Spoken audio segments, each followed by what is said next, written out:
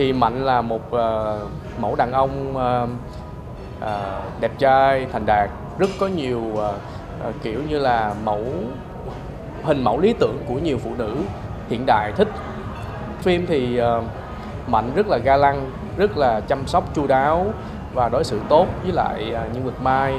nâng đỡ cô ấy rất là nhiều trong những cái hoàn cảnh khó khăn. Nhưng mà khó ai biết được cái mục đích của anh ta muốn gì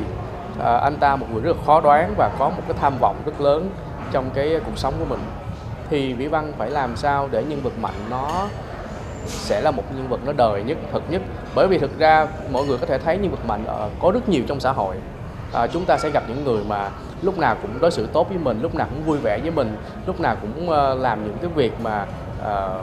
uh, làm cho mình cảm động. Nhưng mình không biết người ta có thật lòng hay không không biết người ta mong bên trong mong muốn cái điều gì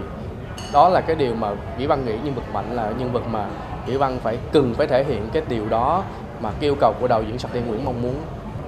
Nhân vật mạnh à, thực ra là một cái mẫu người hoàn toàn trái ngược với là bản bản thân vĩ văn ngoài đời. Bản thân vĩ văn ngoài đời cũng đã tiếp xúc với những người rất giống nhân vật mạnh trong phim.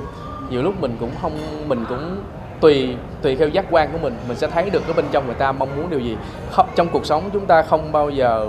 ai mà đối xử tốt với mình mà không điều kiện cả không có ai mà đến với mình mà không mục đích cả thì Nghĩa Văn đã áp dụng và trên cái sự quan sát và những cái trải nghiệm của mình ở ngoài đời mình mình đặt vào cái nhân vật mạnh. Chính vì thế mà khi mà đến casting thì anh Shakti uh, à, nói một câu với Văn là trong những cái người đến casting cái như vai mạnh thì, thì anh Shakti thấy được là Văn đã làm rõ được thấy được cái cái cái cái cái cái nhân vật mạnh nhiều. 嗯。